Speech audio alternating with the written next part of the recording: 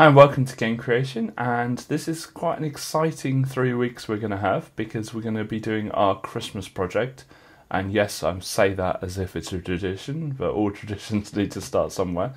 Um, so, this is going to be the only planning video in the next three weeks. We're going to start a project for we're hoping to do from start to finish in the next three weeks.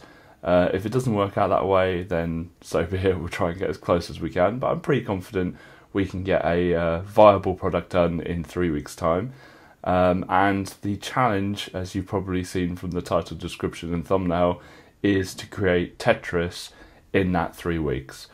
Um, so this week I'll be focusing probably on the array, and we're going to be building it completely in an array, um, and we're going to visualize it in that array, uh, especially in the first week. And we'll probably have um, and I might change my mind throughout the week, but we'll probably have a background array for blocks that are committed, so ones that you're not controlling anymore, and then a second array on top for the one that you're actually controlling.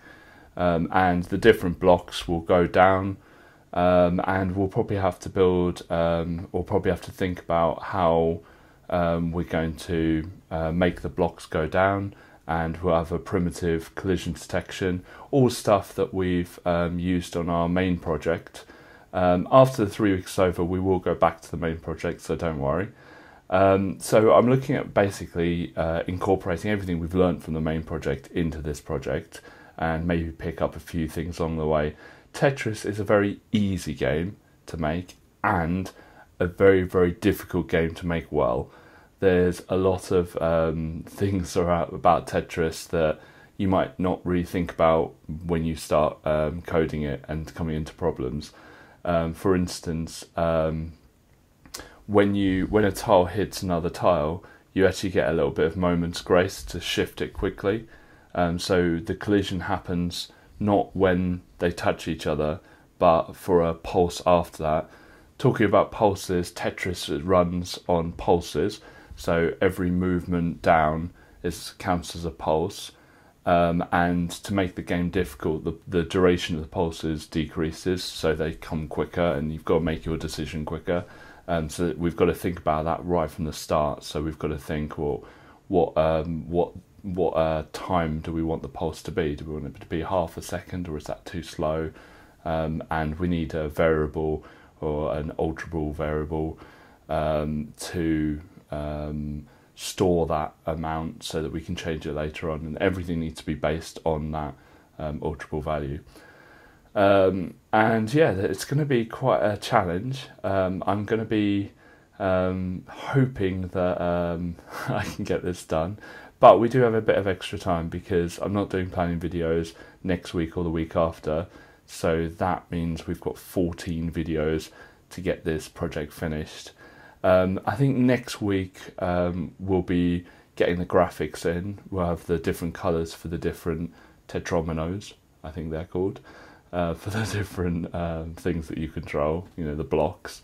Um, and um, we'll probably, maybe this week, figure out um, whether you've got a, a, a line, because uh, the point of Tetris is to get lines.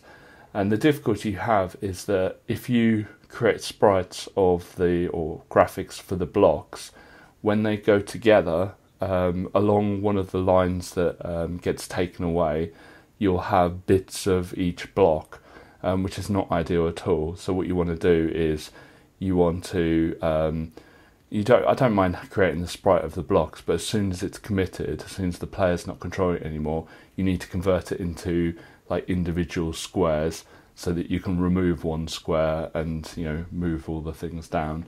Um, and I think it's uh, like quite a few of the projects I've done.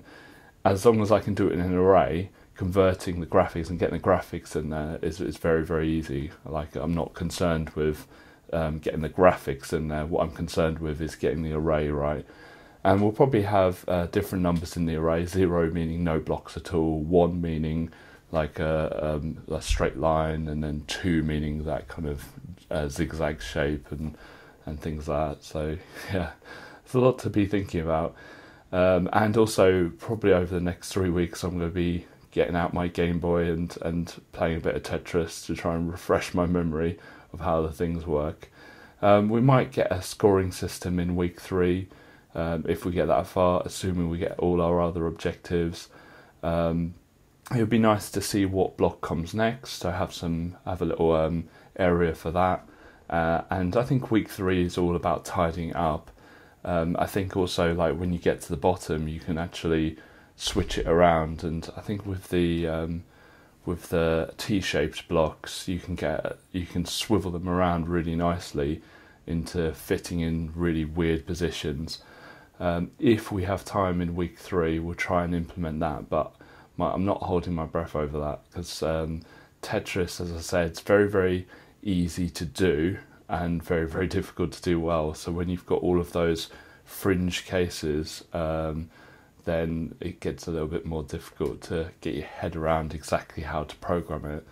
Um, I'm sure uh, I'm sure other people out there have, have done this before and have created their own Tetrises.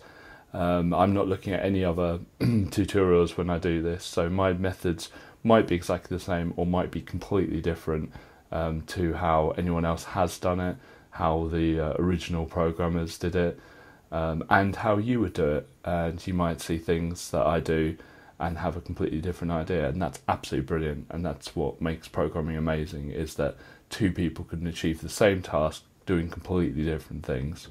Um, and the winner really is the one who uses the least memory or makes it look the prettiest. Who knows? But um, keep your comments coming in. I will be filming quite. Oh, this week's I'll be filming um, on the day uh, and I might um, backlog uh, a few videos over Christmas and New Year's. Um, so please keep your comments coming in. If you've got any suggestions or any improvements you think uh, can be made, um, I'll try and reference them at some point. Um, and there might be a follow-up video in the new year, um, looking back and and taking your improvements and maybe improving the uh, the final product on the fourth, fifth of January, or whenever we whenever we finish this, whatever three weeks is from today. Um, so I hope you enjoy these videos. Uh, if you like the idea of this um, and that you're up for it, um, please click the like and subscribe. And yeah, wish me good luck. Thank you very much. Thank you very much for watching this video. If you want to see more from us, please click subscribe. We release videos every single weekday at 7pm UK time. Thank you.